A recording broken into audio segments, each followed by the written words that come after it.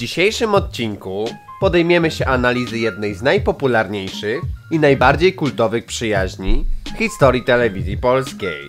Mowa oczywiście o relacji pomiędzy Karolem Krawczykiem i Tadeuszem Norkiem.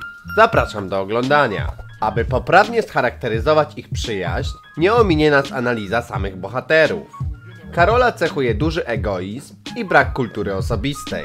Jest drugą, najbardziej niesympatyczną osobą pracującą w jego zakładzie. Znany jest z przygniatania staruszek drzwiami oraz posiadania najdłuższej listy skarg i zażaleń. Pomimo tego, ciągle twierdzi, że należy mu się awans na wyższe stanowisko. Jest nielubiany przez kierownika Barczaka, który stara go się zdyskredytować w oczach dyrektora. Warto zauważyć, że parokrotnie Karol dostawał wymarzony awans, jednakże bardzo szybko wracał na swoje poprzednie stanowisko. Karol nie posiada jednak samych wad. Jedną z jego największych zalet jest z pewnością to, jak stara się zadbać o swoją żonę. Nie pozwala jej pracować, gdyż jak mówi ceni wartości rodzinne i woli by zajmowała się domem. Chciałby dać jej wszystko co najlepsze i choć nie zawsze mu to wychodzi, to widać przy tym wiele trudu, który w to wkłada. Jest nerwowy, despotyczny, ale w gruncie rzeczy ma bardzo dobre serce.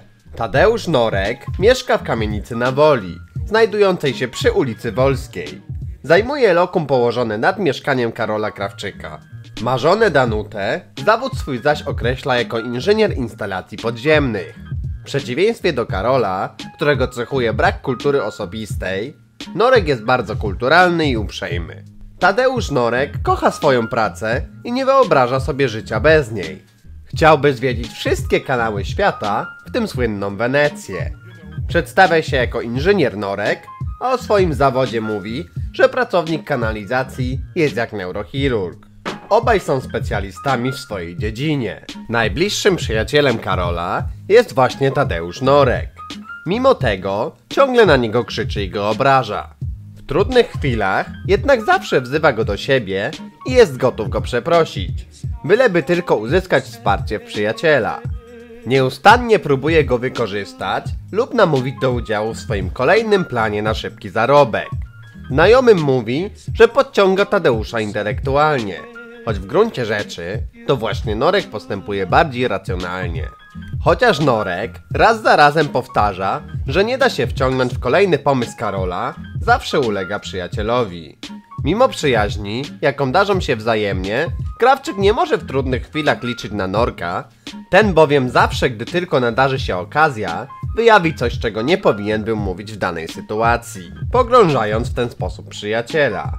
Dlatego też Krawczyk często przezywa Norka Judaszem. Mimo tego, że Tadeusz i Karol są przyjaciółmi, Norek czasem obrywa od Karola. Na przykład, gdy przypadkowo coś wyjawi.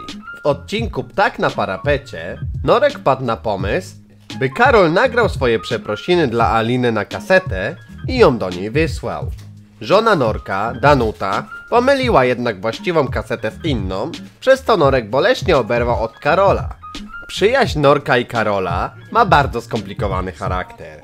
Obaj opowiadają, że byli przyjaciółmi jeszcze w czasach, kiedy wspólnie bawili się w piaskownicy. Karol uderzył wtedy Norka w głowę dwa razy plastikowym wiaderkiem. Często razem wymyślają plany na wspólny biznes i póki wszystko idzie dobrze, Karol przypisuje sobie całą zasługę.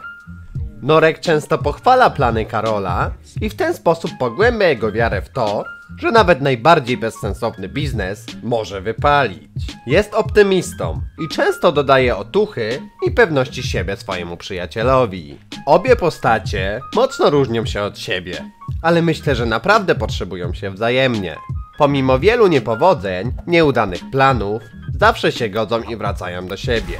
I takiego przyjaciela Wam dzisiaj życzę.